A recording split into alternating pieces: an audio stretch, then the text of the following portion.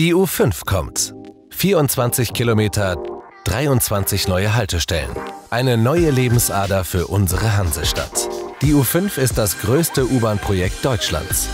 Mit einer Länge von knapp 6 Kilometern und vier neuen Haltestellen hat dieser erste Bauabschnitt richtig in sich. Und so wird er gebaut. Die U5 wird größtenteils unterirdisch verlaufen. Nur an der Sengelmannstraße kommt sie kurz ans Tageslicht. Da, wo zukünftig die vier neuen Haltestellen entstehen, müssen zunächst Baugruben ausgehoben werden.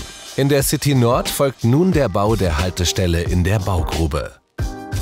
Währenddessen wird die bestehende Haltestelle Sengelmannstraße zu einer komfortablen Umsteigehaltestelle umgebaut. Und zwischen ihnen entsteht ein Tunnel.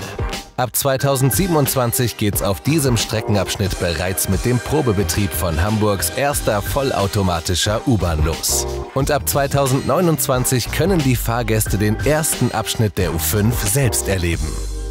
Für den weiteren Tunnel zwischen Sengelmannstraße und Bramfeld kommt eine Tunnelbohrmaschine zum Einsatz. Die ist mit ihren 110 Metern Länge ein ordentliches Kaliber. Unterirdisch bohrt sie sich rund 8 Meter pro Tag vorwärts und macht dabei zwei Sachen gleichzeitig. Vorne gräbt sie das Tunnelloch und setzt direkt dahinter Betonelemente an die Wände. In Bramfeld taucht die Maschine wieder auf und hat bis dahin einen fertigen Tunnel geschaffen.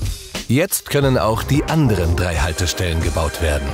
Danach müssen Tunnel und Haltestellen noch mit Gleisen und Technik ausgestattet werden.